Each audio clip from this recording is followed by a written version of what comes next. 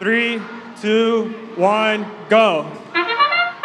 Here we go off in autonomous. Our bellies are full, and hopefully our robots' batteries are full as well. 1748 on the Red Alliance. Red Alert looking very alert going out on the charge station. Meanwhile, the Blue Alliance, 5484. Looking at a Doc getting Gage up on that charge station. Coming out of autonomous, Blue Alliance has the slightest lead, 36 to 31. Drivers take control. 5188 classified robotics able to place a Q cone up top on the top node. Meanwhile, Red Alert on the Red Alliance trying to do the same. 1720 on the blue line. That's PhyXTGears looking to fix their focus on the cube in the center of the field. 5188 with another cone up top on that top node trying to get a link together. Currently, one link complete for blue. Red Alliance trying to get that first link completed. One minute and 30 seconds remaining in this match. Team Hammond 71 back up on their wheels. They're looking to place a cube right as soon as Red Alert moves out of that way.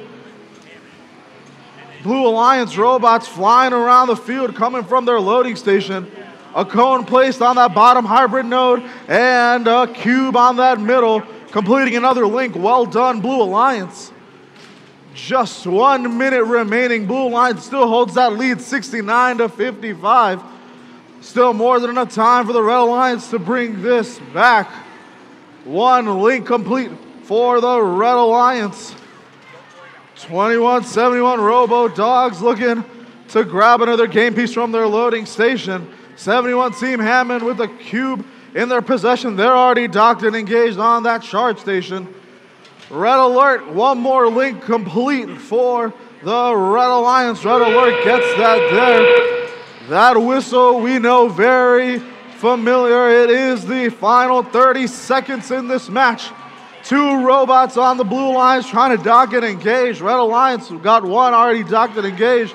Blue Alliance able to dock and engage. One in the community, Red Alliance side.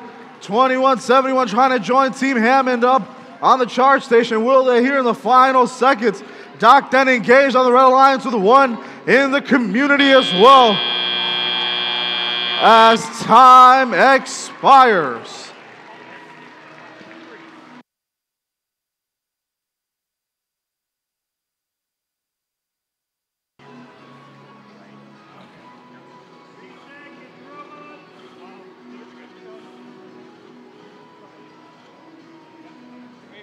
Yep. Here come those scores. That last match it is the Blue Alliance with the victory. 116 to 106. Four ranking points for the Blue Alliance, two ranking points for the Red.